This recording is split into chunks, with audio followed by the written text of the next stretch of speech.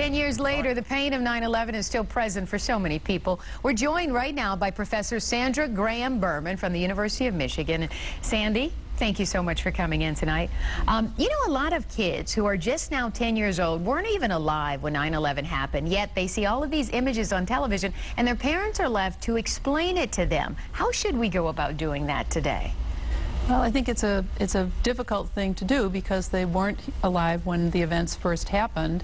On the other hand, they're very young, so it really has to be done carefully. I think uh, the best thing is to be very straightforward. Um, if children ask about it, you could say that three planes crashed into buildings, that people died. It was a very sad thing. Everyone in the country was very sad.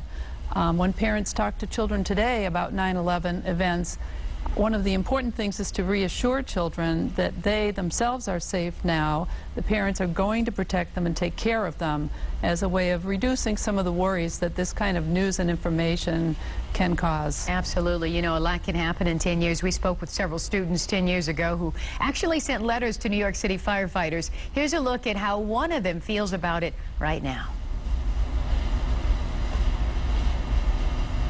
Like your attitude.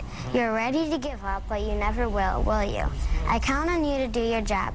So many people believe in you because you are so strong. What can you do but say thank you?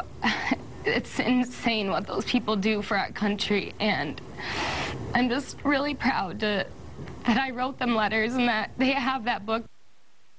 That's little Alex Forrest. We talked to her 10 years ago. She was a fifth grader and her entire class wrote the letters. That's her at the age of 20 and she's still impacted by what she did and firefighters wrote them letters back. So, I mean, what do you say to adults who are adults now but were kids back then?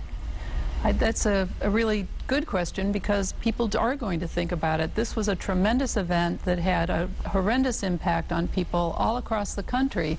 The people who were the most affected were those who were in the closest proximity, those who lived in New York City or who could see the buildings or who had to run away from the smoke, but also those who had an emotional tie to the people who were uh, in, in the buildings, people who were killed, or even people who were part of the rescue efforts um, and the cleanup and all of that. So many people were affected by it. Being able to talk about it with other people is so helpful. Um, people write letters to others. I, I, appreciate what Alex did for the firefighters and being able to, to uh, connect with someone and say thank you for the efforts of, of trying to save lives and make a difference.